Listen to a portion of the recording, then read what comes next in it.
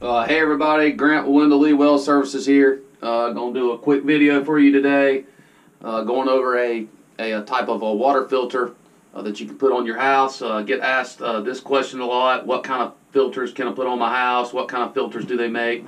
Uh, so I'm gonna mention the the standard filter that they make at Lowe's and or sell at Lowe's and Home Depot. has a clear bowl on it with a cartridge that you have to replace when it gets clogged. But today I'm gonna uh, go over a, a, uh, what's called a spin down or a purge filter. Uh, so you can see here, uh, this is my setup where my tank and everything is. My well's outside, my tank's in this little uh, building here in my garage.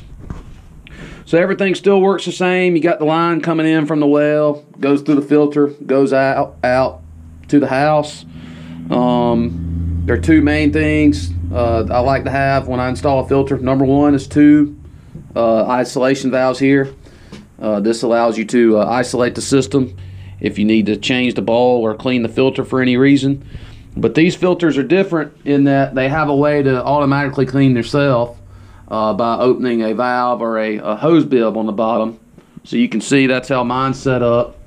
Um, me, I prefer to have just a, a bucket and uh, flush the water and then empty the bucket of water. Uh, you could easily just pipe this line out to a spigot outside. You can see I've already done that for a, for a separate line, but um, I just I just prefer to uh, dump it in a bucket and not have to worry about any uh, uh, freeze protection issues or anything.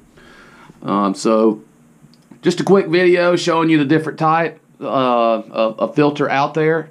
Uh, I, I believe they're worth the money. Um, you know, they're not much more than a standard filter that you get at Lowe's.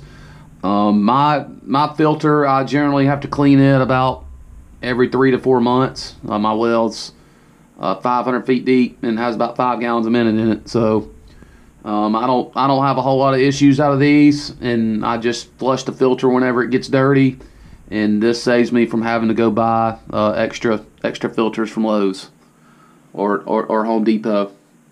So uh, hope this gives you a little bit better insight. Uh, we we stock these and put these on as well as the uh, standard standard filters that you can get from uh, Lowe's or Home Depot. So thanks for watching. Uh, hope you enjoyed it.